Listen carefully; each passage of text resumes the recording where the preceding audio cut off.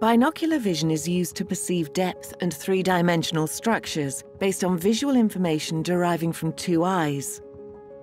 Precise separation of objects in depth can help control and execute fine motor actions.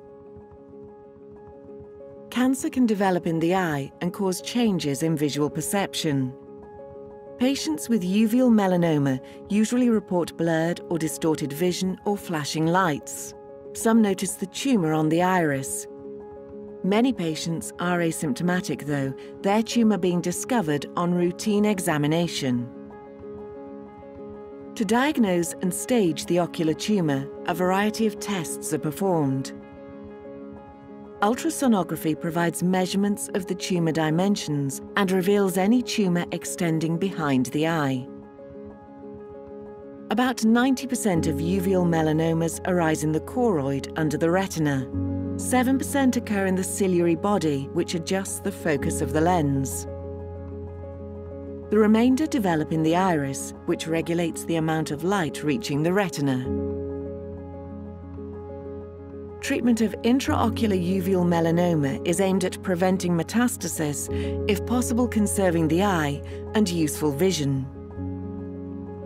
Available treatment options include enucleation, the removal of the eye, which is chosen for advanced tumours. Surgical removal of the tumour is technically complex and only performed in rare cases. In most centres, the first choice of treatment is brachytherapy with radioactive implant containing ruthenium-106 or iodine-125 inserted close to the tumour. The ruthenium plaque emits mostly beta irradiation. It delivers a high radiation dose to uveal melanomas up to 5 millimeters in thickness while avoiding collateral damage to healthy structures, such as the optic disc and macula, if these are more than 2 millimeters away from the tumour. During the operation, the tumour margins are defined by transillumination. An acrylic dummy is sutured in place.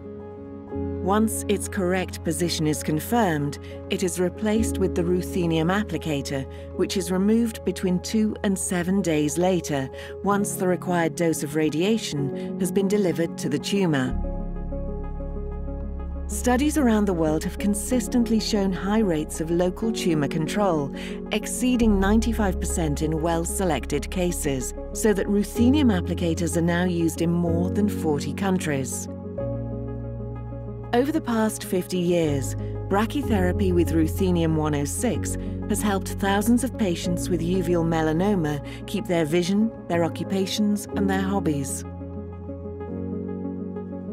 If you need a specialist in your country who can help you with information about ocular brachytherapy, please do not hesitate to contact us.